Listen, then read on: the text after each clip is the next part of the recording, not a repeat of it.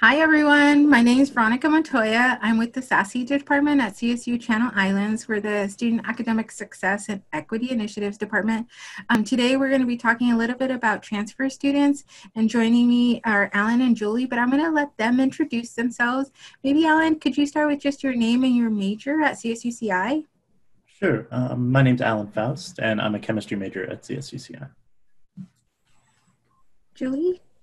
Hi everyone, my name is Julie and I am a sociology major at CSUCI. Awesome. Well, I'm really excited to be here with both of you. Um, so, all of us have been transfer students in the past, and we just wanted to spend a few minutes to share with you a little bit about what our experiences have been like and hear a lot more from Alan and Julie about what it's been like for them coming to CSUCI and transferring in.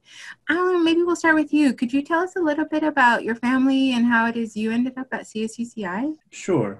My family, um, both my parents graduated college and even pursued PhDs, so it was always expected that I would go to college. But my path to CI has not been straightforward. I graduated high school and didn't get into any colleges I wanted. So I went to a community college for two years and then decided to transfer to a four year college. I ended up transferring to Berkeley, UC Berkeley. Not doing well there, failing out after two years, going back to community college, taking a year off, taking a gap year, and finally deciding to transferred to CSUCI just last year. Julie, tell us a little bit about your family and how you ended up at CSUCI. So, both of my parents immigrated from Mexico to the United States. And so, growing up, I was always told as a little girl, I was raised with this mentality that I would need to go to college and that I would have to sacrifice and work hard to get there. So, I've been actually doing all that. In high school, I did apply to some universities, although I did get accepted. I couldn't go to straight to university because I did not know what I wanted to major in and I didn't have the financial aid to be able to pay for school. So instead, I attended Oxnard College where I took classes and I uh, was able to transfer just last year also to Cal State Channel Islands. Well, I'm glad both of you are here at CSUCI. Um, coming back to you a little bit, Alan, I'm not sure that I've ever mentioned to you, but I also kind of have a, had a very similar path. I started off at uh, USC. And then after a year and a half, had to go back home to community college and was there at Hartnell before I transferred to San Diego State. I will say um, it was a, I ended up at the best school for me and it was a great experience. But I'd like to hear a little bit more about you. What was your experience like when you transferred? Um, the first time or the second time? yeah, really. Yeah. My experience moving from community college to UC Berkeley it's a very rushed process in my head. I had applied to several colleges, and as the applications come back, I kept getting to better and better and better colleges, eventually ending on Berkeley. And so it was a very, I was also working during the summer. And so it was a very rushed, very, oh, you're just going to go do this and it's going to be fine. And don't worry about it. You'll worry about it when you get there.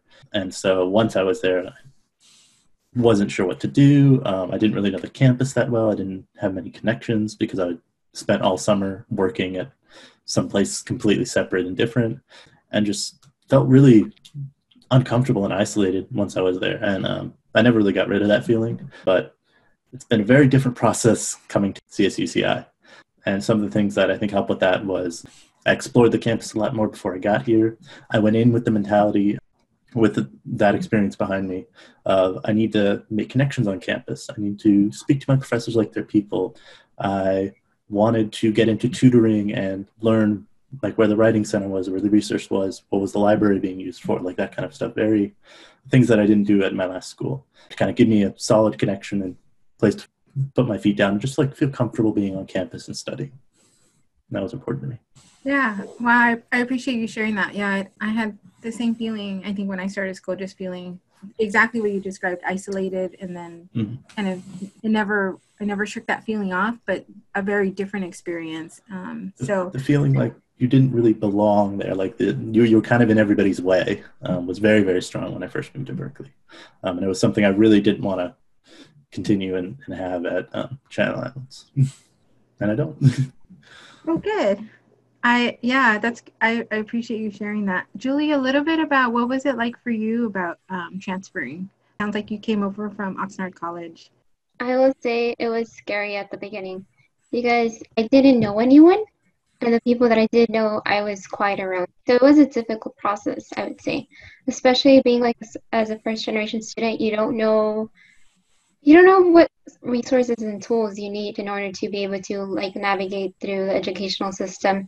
So it was a bit scary being um, doubtful whether you were taking like the right classes, whether you were doing the right major, and then also just learning how to navigate the environment because it, it is a new environment.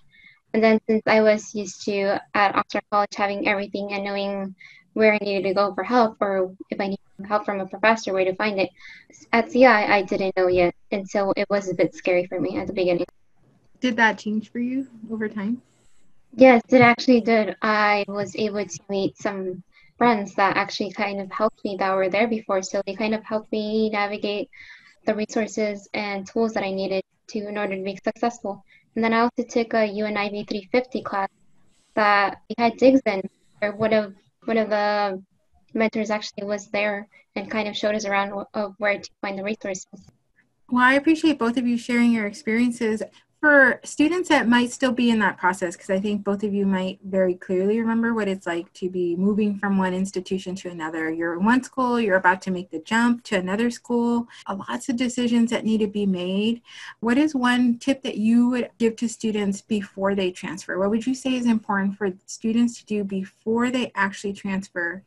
And then, what is one tip that you would give to students after they transfer? Knowing what you know about your own transfer experiences coming from your first school or from your community college over to university, what are some of the tips you've gleaned, you've learned over this time that would be important to students to know before they transfer? And then, what should they be doing immediately after they transfer? Um, we'll start with you, Alan. Is there anything that comes up for you? Before transfer, for me, it was very important to know the space that I was going into. And but the, the, simplest way that I did that was come to the campus, preferably when classes are on, because sometimes that's hard, but you might be able to swing it if you have different schedules. But come to the campus when it's active. Be on it, feel the whole vibe. Where where are people moving? Where are people going? Poke your head into like not literally poke your head into, but like walk by some classrooms, see what the campus is like, what the what the flow is, and what the people are like talk to a few just random people, just strike up a conversation or something like that, walk into an office. Like it's very scary, but you're really serious about transferring. This is the place you're going to be at for at least a year, two years, maybe longer.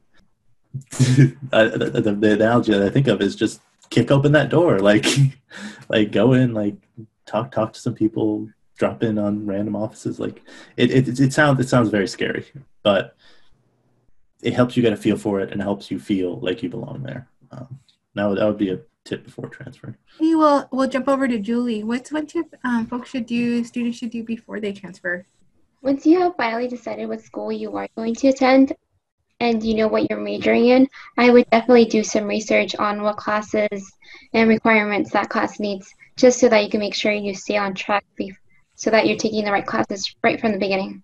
Yeah, I've, I've heard that a lot from transfer students. How do you know if you're taking the right classes that you need. So I, yeah, that's that's incredibly important. I mean, especially since your physical being might be in one school, right, at your community college, and already you're registering for classes in in your new school, and so it can there can be kind of a little bit of, of a gap, right, while you're making those decisions. But yeah, I, I appreciate that. How about after? What should they do after, Alan?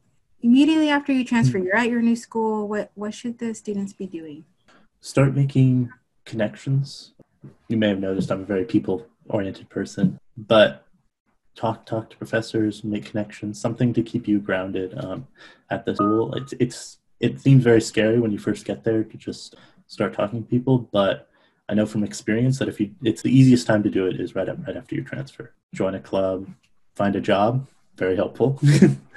Peep department, but find something um, besides just the classes and the um, academics that connects you to the campus because academics aren't always there. We're only in school for nine months out of the year, and you want you want you want something else to, to bind you to the campus. But it is important to look up your you look up your class syllabus and stuff like that. Start reading your books. Any reading, any work you do now, you don't have to do during the semester. So that's always helpful, even if it's just skimming chapter titles. So, Alan, maybe just to build off a little bit about what you just said, making connections. What's one connection you think would be the first one they should go after if they could?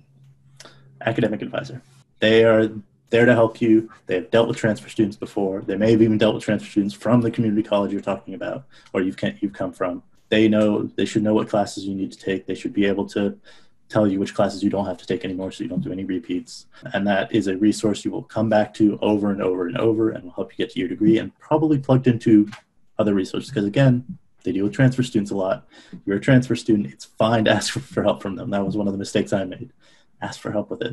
And, and they know and, and they can they can really point you in the right direction. So find out who that is, find their office hours, go talk to them. How about you, Julie? What's something they should do immediately after they transfer? What suggestion would you have? Schooling wise, my recommendation is if you are taking a class where you know you're going to have a lot of midterms or finals in, start finding again connections with people that you may want to form a study group in so that you can get ahead and start working on it earlier. Hey, yeah, that's that's awesome. It's true. Find out who what other students. I mean, especially in your major classes, it's going to be a lot of the same folks that are in the classes with you again and again. So it wouldn't be surprising if you'll have a lot of the same people in your classes, even that one semester. What are some of the best ways to get involved? So now, um, now students are now folks are in their new school. What are some of the best ways to get involved at school?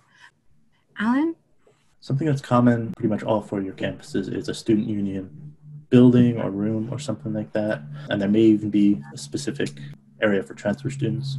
But often there'll be especially at the beginning semester there'll be club recruitments. There'll be um, short excursions for people to get to know each other. Like even freshmen just coming in um, that want to be included other transfer students. So tap your student union resources whatever student government you have and you don't have to join a club but go to one of their get-togethers go to one of their recruiting things meet some people. It, it really helps you get a feel for the vibe on campus is the best way i can put it and uh, what type of people you want to get to know how about you, Julie? What suggestions do you have or tips do you have for students about what's the best way to get involved?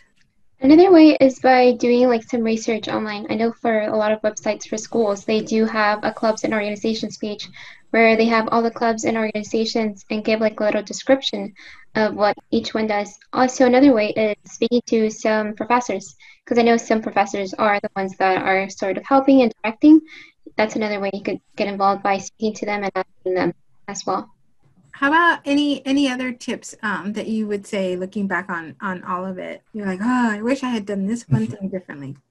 Anything you would suggest or offer to students, Alan? What do you think? Going off what Julie said, um, getting to know your professors um, as people rather than just the person at the front of the lecture.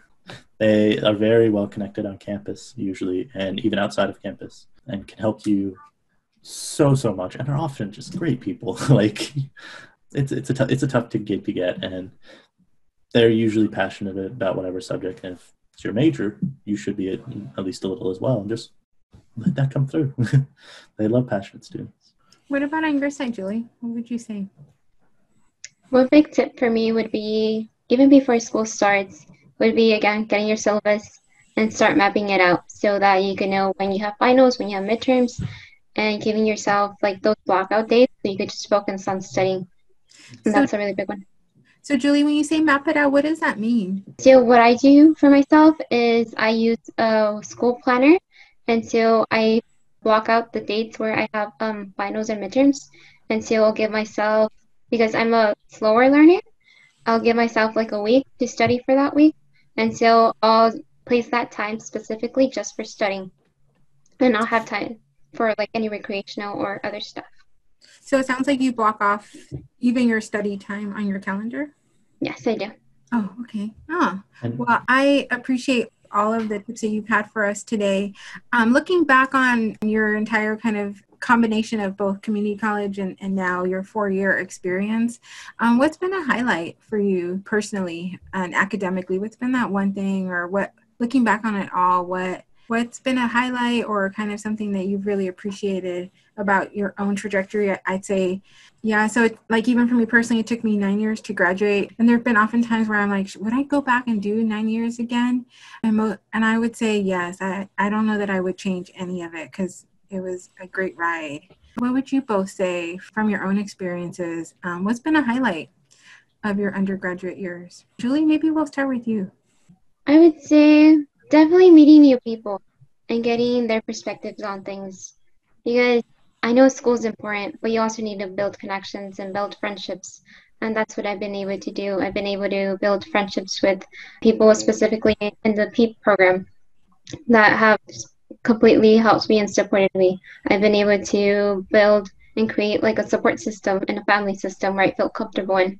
I would say pretty much the same thing. Um, college is such a such a good opportunity to meet people that I never ever would have met otherwise. Like I had a roommate in Berkeley who was transfer student from mainland China, and we mm-hmm. talked about all sorts of stuff. That was fun. He brought Japanese exchange students over, and I'm meeting so many new people through this, and really good people. Like um, college is one of those places. Like yeah, it's, it's hard and it's difficult, but that allows the good kind of rise to the top for for most people, and it's it's such a valuable resource just outside of academics. That overall has just been wonderful. Is meeting the people. Well, I appreciate both of you taking time out today to join us. I just want to be sure to mention that both Alan and Julie are part of our PEEP program. As peer mentors, they're in the Peer Ed- Education Equity programs here at CSUCI. Um, and we'll be including more information on PEEPs in the links attached to this video. So stay on the lookout for some of our peer mentor work at CSUCI. We have an amazing troop of CSUCI peer mentors that are in courses and just on, on campus and going out. And they also go out into the community. So we'll have more information for you all on the PEEP program if you wanted to hear more about it. But again, thanks to Ellen, thanks to Julie for joining us today and for the, your awesome experiences and being willing to share those with us today. We'll probably come back to you all hopefully with some more videos pretty soon, but we'll stop here and say thanks all for joining us.